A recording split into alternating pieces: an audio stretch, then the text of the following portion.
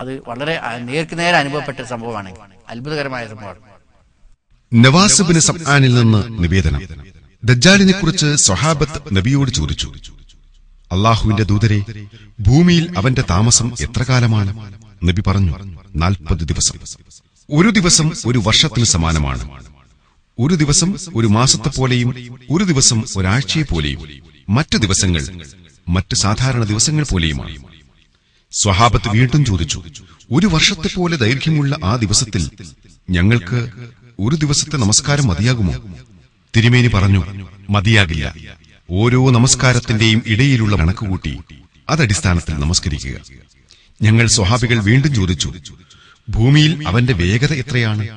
നബി പറഞ്ഞു ഒരു മഴയെ കാറ്റ് കൊണ്ടുവരുന്ന അത്രയും വേഗതയാണ്. അവൻ ഒരു ജനവിഭാഗത്തിന്റെ അടുത്ത് ചെന്ന് അവരെ ക്ഷണിക്കുമ്പോൾ അവർ അവനിൽ വിശ്വസിക്കുകയും അവൻ ഉത്തരം നൽകുകയും ചെയ്യും. എന്നിട്ടവൻ ആകാശത്തോട് മഴ വർഷിക്കാൻ കൽപ്പിക്കും. അതോടെ ആകാശം മഴ വർഷിപ്പിക്കും. ഭൂമിയോട് സസ്യങ്ങളെ മുളപ്പിക്കാൻ ആവശ്യപ്പെടും. അതോടെ ഭൂമി സസ്യങ്ങളെ മുളപ്പിക്കും. അങ്ങനെ അവരുടെ നാൽക്കാലികൾ ഉയർന്ന പൂഞ്ഞകളുമായി നിറഞ്ഞ വയറുകളും നിറഞ്ഞൊഴുകുന്ന അകിടുകളുമായി തിരിച്ചെത്തും. അവനൊരു വരണ്ട പ്രദേശത്തു കൂടി നടന്നിട്ട് അതിനോട് പറയും നിന്റെ നിധികളെ പുറത്തു കൊണ്ടുവരിക അപ്പോൾ തേനീച്ചക്കൂട്ടത്തെ പോലെ അതിലെ നിധികൾ അവനെ പിന്തുടരും. പിന്നീട് യൗവനം നിറഞ്ഞ ഒരു യുവാവിനെ ദജ്ജാൽ വിളിച്ചു വരുത്തും. എന്നിട്ട് ആ യുവാവിനെ വാളുകൊണ്ട് വെട്ടുകയും രണ്ടായി മുറിച്ച് പിളർത്തി ദൂരേക്കെറിയുകയും ചെയ്യും. എന്നിട്ട് ദജ്ജാൽ അവനെ വിളിക്കുമ്പോൾ പ്രസന്നമുഖവുമായി ചിരിച്ചുകൊണ്ടവൻ മുന്നോട്ട് വരും. അവനൊരു ഗ്രാമീണ അറബിയോട് പറയും നിനക്ക് വേണ്ടി നിന്റെ മാതാപിതാക്കളെ ജീവിപ്പിച്ചാൽ നീ ഞാൻ റബ്ബാണെന്ന് വിശ്വസിക്കുമോ? ഗ്രാമീണൻ പറയും അതെ. അങ്ങനെ രണ്ട് പിശാചുക്കൾ അയാളുടെ മാതാപിതാക്കളുടെ രൂപത്തിൽ പ്രത്യക്ഷപ്പെടുകയും മകനെ നീ അവനെ പിൻപറ്റുക. നിശ്ചയം ഇവൻ റബ്ബാണ് എന്ന് പറയുകയും ചെയ്യും. അവൻ വരുന്ന സ്ഥലം ഏതാണെന്ന് പ്രവാചകൻ പറഞ്ഞു. നിശ്ചയം അവൻ കിഴക്ക് ഭാഗത്തുള്ള ഒരു സ്ഥലത്ത് നിന്നാണ് വരിക. അതിന് ഖുറാസാൻ എന്ന് പറയും. ഇസ്ബഹാനിലെ എഴുപതിനായിരം ജൂതന്മാർ അവന്റെ കൂടെയുണ്ടാകും അവരുടെ മുഖങ്ങൾ ചുറ്റിക കൊണ്ട് അടിച്ചുറപ്പിച്ച തോൽ കൊണ്ടുള്ള പരിചകൾ പോലെയിരിക്കും ഒരു ഹദീസിലെ റസൂലുല്ലായി സ്വല്ലല്ലാഹി വസല്ലം പഠിപ്പിക്കുന്നത് അവൻ കിഴക്ക് ഭാഗത്തു നിന്ന് വരുമെന്നാണ്. കിഴക്ക് ഭാഗം എന്ന് പറയുന്നത് ഏതായിരിക്കാനാണ് സാധ്യത? മസീദ് ദജാൽ പുറപ്പെടുന്ന കിഴക്ക് ഭാഗത്തു നിന്നാണ് എന്ന് പറഞ്ഞാൽ അറേബ്യയുടെ കിഴക്ക് ഭാഗത്താണ് ഇറാൻ. ഇറാനിലെ ഖുറാസാനിൽ നിന്നാണ് എന്നാണ് ഹദീസിൽ നിന്ന് മനസ്സിലാവുന്നത്. മാത്രമല്ല അവൻ പുറപ്പെട്ട ശേഷം ഇറാനിലെ ഇസ്ഫഹാൻ എന്ന സ്ഥലത്ത് നിന്ന് എഴുപതിനായിരത്തോളം ജൂതന്മാര് അവന്റെ കൂടെ പിന്തുടരും എന്നും ഹദീസിൽ പറഞ്ഞിട്ടുണ്ട്. മക്കയും മദീനയും ഒഴികെയുള്ള എല്ലാ രാജ്യങ്ങളിലും അവൻ പ്രവേശിക്കും. എന്നാൽ മക്കയിലേക്കും മദീനയിലേക്കും അവന് പ്രവേശനം നിഷേധിക്കപ്പെടും. അബൂബക്കർ റളിയല്ലാഹു അൻഹുവിൽ നിന്ന് നിവേദനം. നബി തിരുമേനി പറഞ്ഞു മസീഹുദ്ദച്ചാലിനെ കുറിച്ചുള്ള ഭയം മദീനയിലുണ്ടാവുകയില്ല അന്ന് മദീനയ്ക്ക് ഏഴ് കവാടങ്ങൾ ഉണ്ടായിരിക്കും. ഓരോ കവാടത്തിലും രണ്ട് മലക്കുകൾ ഉണ്ടായിരിക്കും. അനസുബിന് മാലിക്കിൽ നിന്ന് നിവേദനം. നബി തിരുമേനി പറഞ്ഞു ദജ്ജാൽ ചവിട്ടാത്ത ഒരു പ്രദേശവും ഉണ്ടാകുകയില്ല. മക്കയും മദീനയും ഒഴികെ. അവക്ക് വരിയായി പാറാവ് നിന്നുകൊണ്ട് അവിടങ്ങളിലെ ഓരോ മാർഗങ്ങളിലും മലക്കുകൾ ഉണ്ടാവും. പിന്നെ മദീന അവിടുത്തെ നിവാസികളോടുകൂടി മൂന്ന് തവണ കുലുങ്ങും. അങ്ങനെ കപടവിശ്വാസികളായ എല്ലാവരും അവനിലേക്ക് പുറപ്പെടും. ഇരുമ്പിലെ മാലിന്യങ്ങൾ നീങ്ങിപ്പോകുന്നത് പോലെ അവർ പുറന്തള്ളപ്പെടും. ഉഹദിന് പിന്നിലുള്ള ജുറൂഫ് എന്ന സ്ഥലത്തെ ഉപ്പ് പ്രദേശത്തിന്റെ അരികിൽ വരികയും അവിടെ തമ്പടിക്കുകയും ചെയ്യും. സുദീർഘമായ മറ്റൊരു ഹദീസിലൂടെ പ്രവാചകൻ പറഞ്ഞു ദജ്ജാൽ പ്രത്യക്ഷപ്പെടും. അപ്പോൾ വിശ്വാസികളിൽപ്പെട്ട ഒരു മനുഷ്യൻ അവന്റെ അടുക്കിലേക്ക് പോകും. അവിടെ വെച്ച് ആയുധധാരികളായ ദജ്ജാലിന്റെ ആളുകളുമായി ആ വിശ്വാസി കണ്ടുമുട്ടും. അവർ ചോദിക്കും എവിടെ പോകാനാണ് ഉദ്ദേശിക്കുന്നത്? അപ്പോൾ അവർ ആ വിശ്വാസിയോട് ചോദിക്കും നീ ഞങ്ങളുടെ നാഥനായ ദജ്ജാലിൽ വിശ്വസിക്കുന്നുണ്ടോ? അപ്പോൾ വിശ്വാസിയായ ആൾ പറയും ഞങ്ങളുടെ നാഥനെക്കുറിച്ചുള്ള ഒന്നും മറഞ്ഞിരിക്കുന്നില്ല അപ്പോൾ അവർ പറയും അവനെ വധിച്ചു കളയുക. അപ്പോൾ അവരിൽ ചിലർ പറയും നിങ്ങളുടെ നാഥന്റെ അഥവാ ദജ്ജാലിന്റെ സമ്മതമില്ലാതെ ഒരാളെ കൊല്ലുന്നത് വിരോധിച്ചിട്ടില്ലേ? അങ്ങനെ അവർ അവനെയും കൊണ്ട് ദജ്ജാലിനരികിലേക്ക് പോകും. ആ വിശ്വാസിയായ മനുഷ്യൻ ദജ്ജാലിനെ കാണുമ്പോൾ ഇങ്ങനെ പറയും ഓ ജനങ്ങളെ റസൂൽ സല്ലല്ലാഹു അലൈഹി വസ്ല്ലം പറഞ്ഞു തന്ന ദജ്ജാലാണിത്. അപ്പോൾ ദജ്ജാൽ ആജ്ഞാപിക്കും ഇവനെ പിടിക്കുക അവന്റെ കഴുത്തിറക്കുക അവന്റെ വയറും മുതുകും വികൃതമാക്കുക. ശേഷം അവൻ ചോദിക്കും നീ എന്നിൽ വിശ്വസിക്കുന്നുണ്ടോ? അപ്പോൾ അവൻ പറയും നീ വ്യാജവാദിയായ മസീഹു ദജ്ജാലാണ്. അപ്പോൾ ദജ്ജാൽ പറയും ഞാൻ നിന്നെ മരിപ്പിക്കുകയും പിന്നെ ജീവിപ്പിക്കുകയും ചെയ്താൽ നീ എന്നിൽ വിശ്വസിക്കുമോ? അവൻ ഇല്ലെന്ന് മറുപടി പറയുമ്പോൾ ദജാൽ ഈർച്ചവാൾ കൊണ്ടുവന്ന് രണ്ട് കഷ്ണമാക്കാൻ കൽപ്പിക്കും. ആ രണ്ട് കഷ്ണങ്ങൾക്കിടയിലൂടെ അവൻ നടക്കും. എന്നിട്ട് അവനോട് പറയും എഴുന്നേൽക്കുക. അപ്പോൾ അവൻ ഉയർത്തെഴുന്നേറ്റ് നിൽക്കും. വീണ്ടും ചോദിക്കും നീ എന്നിൽ വിശ്വസിക്കുന്നുണ്ടോ? അപ്പോൾ ആ യുവാവ് പറയും അള്ളാഹുവാണേ സത്യം. നിന്നെക്കുറിച്ചുള്ള എന്റെ വിവരം വർദ്ധിക്കുക മാത്രമാണ് ഉണ്ടായത്.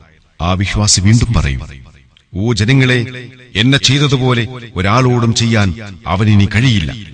അപ്പോഴതാ ആ വിശ്വാസിയുടെ കഴുത്തറക്കാൻ ദജാൽ അയാളെ പിടിക്കും. ആ യുവാവിന്റെ കഴുത്തറ്റം തൊട്ട് തൊണ്ടക്കുഴി വരെയുള്ള ഭാഗം ചെമ്പ് ആക്കപ്പെടും. അതുകൊണ്ട് അവന് ഒന്നും ചെയ്യാൻ കഴിയില്ല. തുടർന്ന് ആ യുവാവിന്റെ ഇരു കൈകാലുകളും കൂട്ടിപ്പിടിച്ച് ദൂരേക്കെറിയും. എന്നാൽ അയാൾ നരകത്തിലേക്കാണ് എറിയപ്പെട്ടതെന്ന് ആളുകൾ വിചാരിക്കും. പക്ഷേ സ്വർഗത്തിലേക്കാണ് അവൻ എറിയപ്പെട്ടത്. ശേഷം റസൂൽ സല്ലാഹു അലൈ വസ്ല്ലം പറഞ്ഞു സർവലോക രക്ഷിതാവിന്റെ അടുക്കൽ ഏറ്റവും ഉത്തമനായ രക്തസാക്ഷിയാണവൻ. അവൻ ദജ്ജാൽ ഇപ്പോൾ ജീവിച്ചിരിപ്പുണ്ടോ? ജീവിച്ചിരിപ്പുണ്ടെന്നാണ് മനസ്സിലാക്കാൻ കഴിയുന്നത്. പല കാരണങ്ങളാൽ. ഒന്ന് എല്ലാ പ്രവാചകന്മാരും മസീദ് ദജാലിനെ കുറിച്ച് മുന്നറിയിപ്പ് നൽകിയിട്ടുണ്ട് എന്നതാണ് ഒരു കാരണം. രണ്ടാമത്തെ തെളിവ് മസീദ് ദജാൽ ജീവിച്ചിരിപ്പുണ്ട് എന്നുള്ളതിന് തെളിവ്. മസീദ് ദജാലിനെ താൻ കണ്ടു. മെഡിറ്ററേനിയൻ കടലിലോ അതോ യമൻ കടലിലോ ഒരു ദ്വീപിൽ താൻ കണ്ടു എന്ന് പറഞ്ഞുകൊണ്ട് തെമീമുദ്ദാരി അള്ളാഹുനു റസൂല്ലാ സ്വലാസ്മയോട് പറഞ്ഞു. മുസ്ലിം അല്ലാത്ത കാലഘട്ടത്തിൽ തന്നെ തെമീമുദ്ദാരി അള്ളാഹുനു ആ കണ്ട വിവരം.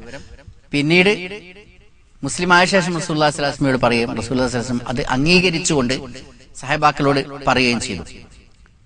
മറ്റൊരു തെളിവ് റസൂല്ലാ സ്വലാസ്ലം പറഞ്ഞത് തന്നെ ഞാൻ ജീവിച്ചിരിക്കുമ്പോഴാണ് അവൻ വരുന്നതെങ്കിൽ നിങ്ങൾക്ക് വേണ്ടി ഞാൻ അവനെ തരുത്തോളാം എന്ന് പറഞ്ഞു. ഇതിന്റെയും പുറമെ റസൂൽ സ്വലാസ്ലമിയുടെ കാലഘട്ടത്തിൽ ഒരു വ്യക്തിയെ കണ്ടു ഇബിന് സയ്യാദ്. അവൻ മസീദ് ദജാലാണോ അല്ലേ എന്ന് പരിശോധിക്കണം എന്ന ഉദ്ദേശത്തിൽ റസൂൽ ഉമർബിൻ അത്താബുല്ലാഹിന്റെ കൂടെ അവന്റെ അടുക്കൽ പോയി. അത് ഇതിൽ നിന്ന് എല്ലാറ്റിൽ നിന്നും നമുക്ക് മനസ്സിലാവുന്നത് മസീദ് ദജാൽ ജീവിച്ചിരിപ്പുണ്ട് എന്നത് തന്നെയാണ്. വാഗ്ദത്തം ചെയ്യപ്പെട്ട ദജാലിനെ ക്രിസ്ത്യാനിയായിരുന്ന സമയത്ത് തെമീമുദ്ദാരി കാണുകയും ഇസ്ലാം സ്വീകരിക്കുകയും ചെയ്ത ഒരു സംഭവം ഹദീസ് ഗ്രന്ഥങ്ങളിൽ കാണാനാകും. ഫാത്തിമ ബിൻ ഖൈസ് പറയുന്നു നമസ്കാരത്തിനു വേണ്ടി ഒരുമിച്ച് കൂടാൻ ഒരാൾ വിളിച്ചു പറഞ്ഞു. അങ്ങനെ നമസ്കാരത്തിനു ശേഷം നബിസല്ലാഹു അലൈ വസ്ല്ലം ചിരിച്ചുകൊണ്ട് മിമ്പറിൽ കയറിയിരുന്നു. എന്നിട്ട് ഞങ്ങളോടായി ചോദിച്ചു നിങ്ങൾ എന്തിനു വേണ്ടിയാണ് ഒരുമിച്ച് കൂട്ടിയതെന്ന് നിങ്ങൾക്കറിയുമോ? അവർ പറഞ്ഞു അള്ളാഹുവും അവന്റെ ദൂതരുമാണ് ഏറ്റവും നന്നായി അറിയുന്നവർ അപ്പോൾ പ്രവാചകൻ പറഞ്ഞു ഞാൻ നിങ്ങളെ ഒരുമിച്ച് കൂട്ടിയത് എന്തെങ്കിലും നേടാൻ ആഗ്രഹിച്ചുകൊണ്ടോ വല്ലതിനെയും കുറിച്ച് പേടിപ്പെടുത്താനുമല്ല. മറിച്ച് ഒരു കാര്യം അറിയിക്കാനാണ്. അതായത് ക്രിസ്ത്യാനിയായിരുന്ന തമീമുദ്ദാരി ഇവിടെ വന്ന് മുസ്ലിമായിരിക്കുന്നു. മസീഹുദ്ദാലിനെ കുറിച്ച് ഞാൻ നിങ്ങളോട് പറഞ്ഞിരുന്നതിനോട് യോജിക്കുന്ന ഒരു സംഭവം അദ്ദേഹം എന്നോട് പറഞ്ഞു. അദ്ദേഹം ലക്മ ജുസാം ഗോത്രങ്ങളിലെ മുപ്പത് ആളുകൾക്കൊപ്പം കപ്പലിൽ യാത്ര ചെയ്യുകയായിരുന്നു. കടൽ പ്രക്ഷുബ്ധമായി തിരമാലയിലകപ്പെട്ട് അവരെയും കൊണ്ട് ആടിക്കളിച്ചു. പിന്നീട് തിരമാലകൾ പടിഞ്ഞാറ് ഭാഗത്ത് ഒരു ദ്വീപിനോടടുത്തെത്തി അവർ ചെറുതോണികളിലായി ആ ദ്വീപിലെത്തി. അവിടെ ധാരാളം രോമങ്ങളുള്ള പരുപരുത്ത ഒരു ജീവിയെ കണ്ടു. രോമാവൃതമായതിനാൽ അതിന്റെ മുൻഭാഗവും പിൻഭാഗവും തിരിച്ചറിയാൻ കഴിയുന്നില്ല. അവർ ചോദിച്ചു നിനക്ക് നാശം? നീ എന്താണ്? അത് പറഞ്ഞു ഞാൻ ജസാസിയാണ്. നിങ്ങൾ ആ കോട്ടയിലുള്ള മനുഷ്യന്റെ അടുക്കൽ പോകുക. അദ്ദേഹത്തിന് നിങ്ങളെക്കുറിച്ച് അറിയാൻ ആഗ്രഹമുണ്ട്. തുടർന്ന് തെമിമുദ്ധാരി പറഞ്ഞു അത് പിശാചായേക്കുമെന്ന് ഞങ്ങൾ ഭയപ്പെട്ടു. അങ്ങനെ ഞങ്ങൾ ഭയപ്പാടോടെ ധൃതിപ്പെട്ട് ആ കോട്ടയിലുള്ള മഠത്തിലെത്തി. അപ്പോഴതാ രണ്ട് കൈകൾ പിരടിയിലേക്കും രണ്ട് മുട്ടുകൾ ഞെരിയാണിയിലേക്കും ഇരുമ്പു ചങ്ങലകൾ കൊണ്ട് ബന്ധിതനായ നിലയിൽ ഒരു വലിയ മനുഷ്യൻ. അവൻ പറഞ്ഞു ബൈസാനിലുള്ള ഈന്തപ്പനകളെക്കുറിച്ച് എനിക്ക് പറഞ്ഞു തരൂ. ഞങ്ങൾ ചോദിച്ചു അതിന്റെ ഏത് കാര്യമാണ് നിനക്കറിയേണ്ടത്? അയാൾ പറഞ്ഞു അതിലെ ഈത്തപ്പന ഇപ്പോഴും കായ്ക്കാറുണ്ടോ? ഞങ്ങൾ പറഞ്ഞു അതെ. അപ്പോൾ അവൻ പറഞ്ഞു അതിന്റെ ഫലം കായ്ക്കുന്നത് നിർത്താറായിട്ടുണ്ട്. അവൻ വീണ്ടും പറഞ്ഞു തൊബിരിയ തടാകത്തിന്റെ അവസ്ഥയെക്കുറിച്ച് എനിക്ക് പറഞ്ഞു തരിക. ഞങ്ങൾ ചോദിച്ചു അതിനെക്കുറിച്ച് നിനക്ക് എന്താണ് അറിയേണ്ടത്? അവൻ ചോദിച്ചു ആ അരുവിയിൽ വെള്ളമുണ്ടോ? അവിടുത്തുകാർ ആ വെള്ളം ഉപയോഗിച്ച് കൃഷി ചെയ്യാറുണ്ടോ? ഞങ്ങൾ പറഞ്ഞു അതിൽ ധാരാളം വെള്ളമുണ്ട്. അവിടുത്തുകാർ അത് ഉപയോഗിച്ചാണ് കൃഷി ചെയ്യുന്നത്. അവൻ ചോദിച്ചു നിരക്ഷരരുടെ പ്രവാചകൻ എന്തൊക്കെ ചെയ്തു? അവർ പറഞ്ഞു അദ്ദേഹം മക്കയിൽ നിന്നും യസ്രിബിൽ പോയി താമസിക്കുന്നു. അവൻ ചോദിച്ചു അറബികൾ അവനുമായി യുദ്ധം ചെയ്തുവോ? ഞങ്ങൾ പറഞ്ഞു അതെ. അവൻ ചോദിച്ചു അവരെ അദ്ദേഹം എന്താണ് ചെയ്തത്? അദ്ദേഹം ആ നാട്ടിലെ അറബികളുടെ മേൽ വിജയം വരിച്ചിരിക്കുന്നു. അവർ ആ പ്രവാചകനെ അനുസരിക്കുകയും ചെയ്തിരിക്കുന്നുവെന്ന് ഞങ്ങൾ മറുപടി പറഞ്ഞു. അപ്പോൾ അവൻ ചോദിച്ചു അതുണ്ടായോ? ഞങ്ങൾ പറഞ്ഞു അതെ. അയാൾ പറഞ്ഞു എങ്കിൽ അദ്ദേഹത്തെ അനുസരിക്കലാണ് അവർക്ക് ഉത്തമം. ഇനി ഞാൻ നിങ്ങൾക്ക് എന്നെക്കുറിച്ച് വിവരിച്ചു തരാം. ഞാനാണ് മസീഹുദ്ദാൽ ഇനി ഏറെ താമസിയാതെ ഞാൻ പുറത്തു വരും. ഞാൻ ചുറ്റി സഞ്ചരിക്കും. ഒരു ഗ്രാമവും ഒഴിവാക്കാതെ നാൽപ്പത് രാത്രി ചിലവഴിക്കും. മക്കയും മദീനത്ത് ത്വയ്ബയും ഒഴികെ. അവ രണ്ടും എനിക്ക് നിഷിദ്ധമാണ്. ആ രണ്ടിടങ്ങളിൽ ഞാൻ പ്രവേശിക്കാൻ ഉദ്ദേശിച്ചാൽ അതിന്റെ പാറാവുകാരനായ മലക്ക് വാളുമായി എന്നെ നേരിടും. അതിന്റെ എല്ലാ കവാടങ്ങളിലും പാറാവുകാരായ മലക്കുകളുണ്ടാവും ഇത്രയും പറഞ്ഞതിനു ശേഷം നബിസല്ലാഹു അലൈ വസ്ല്ലം അവിടുത്തെ കയ്യിലുള്ള വടി മിമ്പറിൽ കുത്തിക്കൊണ്ട് മൂന്ന് പ്രാവശ്യം പറഞ്ഞു ഇതാണ് തൊയ്ബ ഇതാണ് തൊയ്ബ ഇതാണ് തൊയ്ബ. അത് നിങ്ങൾക്ക് ഞാൻ പറഞ്ഞു തന്നിരുന്നല്ലോ. അപ്പോൾ ജനങ്ങൾ പറഞ്ഞു അതെ നബി പറഞ്ഞു മക്കയെക്കുറിച്ചും മദീനയെക്കുറിച്ചും ഞാൻ നിങ്ങൾക്ക് പറഞ്ഞു തന്നതുമായി തമീമുദ്ദാരിയുടെ വർത്തമാനം യോജിച്ചു വന്നത് എന്നെ അത്ഭുതപ്പെടുത്തുന്നു. മസീഹുദ്ദാലിനെ തേമീമുദ്ദാരി കണ്ടു എന്ന് പറയുന്ന ഹദീസിൽ പ്രവാചകൻ അലൈഹി വസല്ലമ അത് അംഗീകരിക്കുകയും ചെയ്തിട്ടുണ്ട്. പ്രവാചകൻ പറഞ്ഞ അതേ കാര്യങ്ങളുമായിട്ട് തമീമുദ്ദാരിയുടെ വാക്കുകൾ യോജിച്ചു വന്നു. അപ്പൊ തെമീമുദ്ദാരി കണ്ട ഈ മസീഹുദ്ദാലിനെ കണ്ടെത്താൻ ഗവേഷണങ്ങൾ ലോകത്ത് നടന്നിട്ടുണ്ടോ? മസിഹ് ദജാലിനെ തെമ്മിമുന്താരി കണ്ടു എന്ന് അലൈഹി വസല്ലം അംഗീകരിച്ചിട്ടുണ്ട്. അതിനാൽ തന്നെ മസീദ് ദജാൽ ജീവിച്ചിരിപ്പുണ്ട് എന്ന് മനസ്സിലാവുന്നുണ്ട് എന്ന് നേരത്തെ പറഞ്ഞുവല്ലോ. ഇനി ഈ മസീഹ് ദജാലിനെ കണ്ടെത്താൻ കഴിയില്ലേ? ആർക്കും കണ്ടെത്താൻ കഴിയില്ലേ? എന്താ അത് മറച്ചു വെക്കപ്പെട്ടതാണോ? മസീദ് ദജാലിനെ ഒരു ഗവേഷണ രൂപത്തിൽ മസീദ് ദജാൽ എവിടെയാണ് എന്ന് കണ്ടെത്താനുള്ള ഒരു ശ്രമം ഇതുവരെ ലോകത്ത് നടന്നതായിട്ട് അറിഞ്ഞിട്ടില്ല. തമീമുദാരി പറഞ്ഞ റിപ്പോർട്ട് അനുസരിച്ച് മെഡിറ്ററേനിയൻ കടലിലെ ദ്വീപിലോ യമൻ കടലിലെ ദ്വീപിലോ എന്നാണ്. മറ്റുള്ള റിപ്പോർട്ടുകളും വെച്ച് നോക്കുമ്പോൾ ഈ രണ്ടെണ്ണത്തിൽ തന്നെ ഏറ്റവും കൂടുതൽ ഊന്നൽ നൽകാൻ സാധിക്കുന്നത് മെഡിറ്ററേനിയൻ കടലിലെ ദ്വീപാണ്. മെഡിറ്ററേനിയൻ കടലിലെ ദ്വീപുകളുടെ കൂട്ടത്തിൽ പ്രധാനപ്പെട്ട ഒരു ദ്വീപാണ് സൈപ്രസ്. സൈപ്രസിലെ മുസ്ലിം സംഘടനകളുടെ അഡ്രസ് തേടിപ്പിടിക്കുകയും അവരുടെ ഇമെയിൽ സംഘടിപ്പിക്കുകയും അതിൽ ഞാൻ ഒരു ഇമെയിൽ സന്ദേശം അയക്കുകയും ചെയ്തിട്ടുണ്ട്. ഇത്തരത്തിൽ ഏതെങ്കിലും ഒരു ലക്ഷണമുള്ള റസൂലി സ്വലാസ് മസീദ് ജാലിനെ കുറിച്ച് പറഞ്ഞ ലക്ഷണമുള്ള ഒരു വ്യക്തി അവരുടെ സൈപ്രസിലെ ഏതെങ്കിലും ജൂത കേന്ദ്രങ്ങളിലോ മറ്റോ ഉണ്ടോ ഇല്ലേ എന്നുള്ളതിനെ കുറിച്ച് ഒന്ന് അറിയാൻ വേണ്ടി. അതിന് മറുപടി കിട്ടിയിട്ടില്ല. എങ്കിലും ആ രൂപത്തിലുള്ള ഒരു ഗവേഷണം നടത്തിയാൽ ആ മുസ്ലിമായ കാലഘട്ടത്തിൽ മസ്ജിദ് തമീമുദ്ദാരിക്ക് കാണാമെങ്കിൽ നമുക്കും ഒരു ഗവേഷണത്തിലൂടെ കണ്ടെത്തിക്കൂടായൊന്നുമില്ല. പക്ഷെ നമുക്കൊന്നും ചെയ്യാൻ കഴിയില്ല. കാരണം മസീദ് ദജാലിനെ വധിക്കാൻ റസൂൽ അള്ളാഹിസ്ലാസ്ലം പറഞ്ഞിട്ടുണ്ട്. ഈസബിന് മറിയം വന്നിട്ടാണ് വധിക്കുക എങ്കിലും കാണാൻ കഴിയില്ല. മനുഷ്യന്റെ കണ്ണുകളിൽ നിന്ന് മറക്കപ്പെട്ടതാണ് എന്നൊന്നും റസൂൽ അള്ളാഹിസ്ലാസ്ലം പറഞ്ഞിട്ടില്ല. ഏതായാലും ഗവേഷണത്തിന്റെ കുറവ് ഈ രംഗത്തുണ്ട് എന്ന കാര്യത്തിൽ സംശയമൊന്നുമില്ല. ദജാൽ പ്രത്യക്ഷപ്പെടുന്നതിന് മുമ്പുള്ള മൂന്ന് വർഷം ക്ഷാമത്തിന്റെ കാലമാണ്. ആ കാലഘട്ടത്തിൽ ജനങ്ങൾ കഠിനമായ പട്ടിണിയിലായിരിക്കും. അതിൽ ഒന്നാമത്തെ വർഷം ആകാശത്തോട് മൂന്നിലൊന്ന് മഴയെ പിടിച്ചു നിർത്താൻ അള്ളാഹു കൽപ്പിക്കും. മൂന്നിലൊന്ന് സസ്യങ്ങളെ ഭൂമിയോട്. രണ്ടാമത്തെ വർഷം ആകാശത്തോട് മൂന്നിൽ രണ്ട് മഴയെ പിടിച്ചു നിർത്താൻ കൽപ്പിക്കും. മൂന്നിൽ രണ്ട് സസ്യങ്ങളെയും പിടിച്ചു വെക്കാൻ ഭൂമിയോടും കൽപ്പിക്കും. പിന്നീട് മൂന്നാമത്തെ വർഷം ആകാശത്തോട് മുഴുവൻ മഴയെയും പിടിച്ചു വെക്കാൻ കൽപ്പിക്കും. അങ്ങനെ അത് ഒരു തുള്ളിയെപ്പോലും പെയ്യിക്കില്ല. ഭൂമിയോട് അതിന്റെ മുഴുവൻ സസ്യങ്ങളെയും പിടിച്ചുവെക്കാനും ആജ്ഞാപിക്കും. അങ്ങനെ അത് ഒരു ചെടിയും മുളപ്പിക്കുകയില്ല. കുളമ്പുള്ള ഒരു ജീവിയും നശിക്കാതെ ബാക്കിയാവുകയില്ല. അള്ളാഹു ഉദ്ദേശിച്ചവരൊഴികെ. ആരോ ചോദിച്ചു അക്കാലത്ത് ജനങ്ങൾ എങ്ങനെ ജീവിക്കും? അവിടുന്ന് പറഞ്ഞു തഹലീൽ തക്ബീർ തസ്ബീർ തഹമീദ് ഇവയെല്ലാം ഭക്ഷണത്തിന് പകരം മതിയാകും. നബിസല്ലാ അലൈഹി വസല്ലം പറഞ്ഞു കിഴക്ക് ഭാഗത്തു നിന്ന് അവൻ വരും. എന്നിട്ടവൻ ഈലിയ പർവതത്തിനരികിലേക്ക് വരികയും അവിടെയുള്ള മുസ്ലിങ്ങളെ ഉപരോധിക്കുകയും ചെയ്യും. ജനങ്ങൾ ദജാലിൽ നിന്നും ഓടി മലയിലേക്ക് കയറും. മസീഹു ദജാൽ മക്കയും മദീനയും ഒഴിച്ച് എല്ലാ രാജ്യങ്ങളിലും അവൻ എത്തിപ്പെടുമെന്ന് പറയുന്നുണ്ട്. പക്ഷെ മക്കയിലേക്കും മദീനയിലേക്കും അവന് പ്രവേശനമില്ല എന്നും ഹദീസിൽ കാണാൻ സാധിക്കുന്നുണ്ട്. അതിനെക്കുറിച്ചൊന്ന് വിശദീകരിക്കാൻ പറ്റും. മസീഹ് ദജ്ജാൽ മക്കയും മദീനയും ഒഴിച്ച് ലോകത്തെ എല്ലാ നാടുകളിലും സഞ്ചരിക്കും. കുഴപ്പങ്ങൾ ഉണ്ടാക്കും എന്ന് ഹരീസിൽ പറഞ്ഞിട്ടുണ്ട്. മക്കക്കും മദീനക്കും അള്ളാഹുവിന്റെ മലക്കുകൾ കാവൽ നിൽക്കുന്നതിനാൽ അങ്ങോട്ട് പ്രവേശിക്കാൻ അവന് കഴിയില്ല. മദീനക്കടുത്തുള്ള മദീനയുടെ അതിർത്തിയായ വഹദ് മലയുടെ മുകളിൽ നിന്നുകൊണ്ട് എന്റെ ഈ പള്ളി നോക്കിയിട്ട് ആരുടേതാണ് വെള്ളക്കൊട്ടാരം എന്ന് ചോദിക്കുമെന്ന് റസൂൽ സ്വലാസം പറയുന്നു. മദീന പള്ളി ഒരു ചെറ്റക്കുഴിലായി നിന്ന ഒരു മണ്ണുകൊണ്ടുള്ള ചുമരും ഏതാനും ഈത്തപ്പനയോലകളും മാത്രമുള്ള ഒരു കുടിൽ ആയിരുന്ന കാലഘട്ടത്തിലാണ് റസൂൽ അസ്ലാസ്ലം ഈ പള്ളിയെക്കുറിച്ച് വെള്ളക്കൊട്ടാരം എന്ന് ദജാൽ ചോദിക്കുമെന്ന് പറയുന്നു ഇതുമേൽ തന്നെ ആ പള്ളി ഒരു വലിയ കൊട്ടാരം പോലെ ആയി തീരും എന്നും അതിന്റെ പെയിന്റിന്റെ കളർ പോലും വെള്ളയായിരിക്കുമെന്നും പ്രവചനത്തിൽ വ്യക്തമായിട്ടുണ്ട്.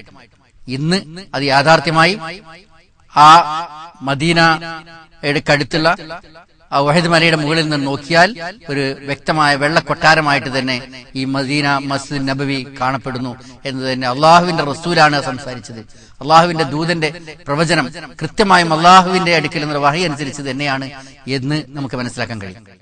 നബി സല്ലല്ലാഹു അലൈഹി വസല്ലമയുടെ ഹദീസുകളിൽ ഈ യജൂജും അയജൂജുമായി ബന്ധപ്പെട്ട് പറയുന്ന ചരിത്ര സംഭവങ്ങളിൽ അവർ വരുമെന്നും തുബരി തടാകത്തിൽ വെച്ച് അവർ വെള്ളം കുടിക്കുമെന്നൊക്കെ പറയുന്നുണ്ടല്ലോ. അതിനെക്കുറിച്ചൊരു ലഘു വിവരണം നൽകാൻ സാധിക്കും യജൂജ് മജൂജ് എന്നറിയപ്പെടുന്നത് മംഗോളിയ താർത്താരി വർഗത്തിൽപ്പെട്ട ആൾക്കാർക്കാണ്. നൂഹ് അലൈഹി ഇസ്ലാമിന്റെ മകനായ യാഫിസിന്റെ മക്കളുടെ കൂട്ടത്തിൽ ഒരു മകനാണ് യജൂജ് മറ്റൊരു മകനാണ് ജൂജ്. അവരുടെ സന്താന പരമ്പരകളാണ് യജൂജ് മജൂജ് വർഗക്കാർ അവരെല്ലാവരും അവിശ്വാസികളും ദുഷ്ടന്മാരൊന്നുമല്ല. അവരിൽ ദുഷ്ടരുണ്ട് അവിശ്വാസികളൊക്കെ ഉണ്ട് അവർ ഇനി ഈസാ അലഹിസ്ലാം ഈ ഭൂമിയിൽ ഇറങ്ങി വന്ന ശേഷം ദജാലിനെ കൊന്ന ശേഷം ഭരണം തുടങ്ങുമ്പോഴേക്കും യജൂജ് മജൂജിന്റെ കൂട്ടത്തോടുള്ളൊരു വരവുണ്ടാവും എന്ന് നബി സ്വലാസ്ലം പറയുന്നുണ്ട്. അങ്ങനെ ഈസാ അലൈഹി ഇസ്ലാം താമസിക്കുന്ന വീട് വളയും എന്നൊരു ശക്തമായ ഉപരോധം സൃഷ്ടിക്കും വളരെയധികം പ്രയാസപ്പെടും എന്നൊക്കെ ഹദീസിൽ വന്നിട്ടുണ്ട്. അപ്പോ ഈ വർഗത്തിൽപ്പെട്ട ദുഷ്ടരായ ആൾക്കാർ വന്ന് ആ ഐസാ ഇസ്ലാം താമസിക്കുന്ന വീട് വളഞ്ഞിട്ട് ഈ പ്രയാസങ്ങൾ ഉണ്ടാക്കും. മാത്രമല്ല അവർ ഇറങ്ങി വരുമ്പോൾ തൊബിരി തടാകത്തിൽ വെച്ച് വെള്ളം കുടിക്കും എന്ന് പറഞ്ഞിട്ടുണ്ട്. ഈ തൊബിരി തടാകം എന്ന് പറഞ്ഞാൽ ഇന്ന് വടക്കൻ ഇസ്രായേലിൽ സ്ഥിതി ചെയ്യുന്ന ലേക്ക് ഓഫ് ഗലീലി ആണ്. സ്വല്ലല്ലാഹി അലൈഹി വസല്ലം തൊബിരി തടാകത്തിൽ പോയി അത് കാണുകയും അതിന്റെ സ്ഥാനം നിർണയിക്കുകയും അതെല്ലാം മനസ്സിലാക്കുകയും ചെയ്ത ശേഷം പറഞ്ഞതല്ല. വാഹിയന്റെ കൃത്യത കൊണ്ടാണ് ആ മദീനത്തിരുന്നുകൊണ്ട് ആ ഫലസ്തീന്റെ വടക്ക് ഭാഗത്ത് അഥവാ അന്നത്തെ ഫലസ്തീൻ ഇപ്പോ ഇസ്രായേൽ രാഷ്ട്രത്തിന്റെ വടക്ക് ഭാഗത്തെ തുരാധാരെ പറ്റി പറഞ്ഞു. അതിൽ നിന്നാണ് ജോർഡാൻ നദി തുടങ്ങുന്നത്. ആ തടാകത്തിൽ നിന്ന് വെള്ളം കുടിക്കും എന്നാണ് പറഞ്ഞത് അതിന്റെ തൊട്ടടുത്തുള്ള കുന്നുകളാണ് സിറിയയിൽ നിന്ന് ഇസ്രായേൽ പിടിച്ചെടുത്ത ഗോലാൻ കുന്നുകൾ. ആ ഗോലാൻ കുന്നിന്റെ തൊട്ടടുത്താണ് ഈ ലേക്ക് ഓഫ് ഗലീലി സ്ഥിതി ചെയ്യുന്നത്. മാത്രമല്ല കുന്നിൻ പ്രദേശത്തുകൂടെ യജൂജ് മജൂജ് ഇറങ്ങി വരും. ഹദമിൻ യൻസിലൂൻ എന്ന് സൂറത്തിൽ കഹ്ഫിൽ അള്ളാഹു പറയുന്നത് ഈ കുന്ന് ഈ ഗോലാൻ കുന്നുകളായിരിക്കാനാണ് ഈ പ്രയോഗത്തിൽ നിന്ന് സാധ്യത കാണുന്നത്. കാരണം ഈ തൊബിയത്തിടാവും ഗോലാൻ കുന്നുകളും വളരെ അടുത്താണ് എന്നതുകൊണ്ട് തന്നെ. ഞാൻ പറഞ്ഞു യജൂജ് മജൂജ് എന്ന് പറഞ്ഞാൽ നൂഹ അലി ഇസ്ലാമിന്റെ മകനായ യാഫിസിന്റെ സന്താനങ്ങളിൽപ്പെട്ടതാണ് യജൂജും മജൂജും. അവരുടെ സന്താന പരമ്പരകളായി വന്ന വർഗക്കാരാണ് ഈ മംഗോളിയ താർത്താരി വർഗക്കാരൊക്കെ അവരുടെ കുഴപ്പങ്ങൾ ഇതിനു മുമ്പും ഉണ്ടായിട്ടുണ്ട്. ചെങ്കിസ് ഖാന്റെ ഒരു വമ്പിച്ച ആക്രമണം മുസ്ലിം ലോകത്തിന് മേൽ ഉണ്ടായിട്ടുണ്ട്. ഇനി ഖുറാനിൽ പറഞ്ഞതനുസരിച്ച് ആ ആക്രമണം കൊണ്ട് കഴിഞ്ഞിട്ടില്ല. ഈസ അലഹിസ്ലാം ഭൂമിയിൽ ഇറങ്ങി വന്ന ശേഷം ഒരു അക്രമം ഉണ്ടാവും എന്ന് ഖുറാനിൽ നിന്ന് ഗ്രഹിക്കാൻ കഴിയുന്നുണ്ട് ഹദീസിൽ വളരെ വ്യക്തമായും പറയുന്നുണ്ട്. ഇവരൊക്കെ ദുഷ്ടന്മാരല്ല എന്ന് പറഞ്ഞല്ലോ. ആ മംഗോളിയ താർത്താരി വർഗത്തിൽപ്പെട്ട നല്ല ആൾക്കാർ ധാരാളമുണ്ട്. എന്നാൽ ദുഷ്ടായ ആൾക്കാർ വരും എന്ന് മാത്രമല്ല ദുൽഖർണൈൻ എന്ന മഹാൻ കെട്ടിയ ഒരു മതിലുണ്ട്. അന്ന് ഈ യജൂജ് മജൂജ് മംഗോളിയ താർത്താരി വർഗത്തിൽപ്പെട്ട. ഇന്ന് ഉദാഹരണമായിട്ട് കൊറിയ ചൈന മംഗോളിയ റഷ്യ പോലുള്ള പ്രദേശങ്ങളിൽ ഉള്ള ഈ മംഗളോയിഡ് ഫേസ് കെട്ടുള്ള ആൾക്കാർ ഈ വർഗക്കാരിൽപ്പെട്ടവരാണ്. ഈ ആൾക്കാരുടെ ശല്യത്തിൽ നിന്ന് തടുക്കാൻ അന്നത്തെ അവരുടെ കുഴപ്പത്തിൽ നിന്ന് തടുക്കാൻ കരമാർഗമുള്ളവരുടെ മുന്നേറ്റത്തിൽ നിന്ന് അവരുടെ ആർമിയെ തടുക്കാൻ അന്ന് ദുൽഖർണേനി ഒരു മതിൽ കെട്ടി അന്നത്തെ ജനങ്ങളുടെ ആവശ്യപ്രകാരം എന്ന് ഖുർആനിലെ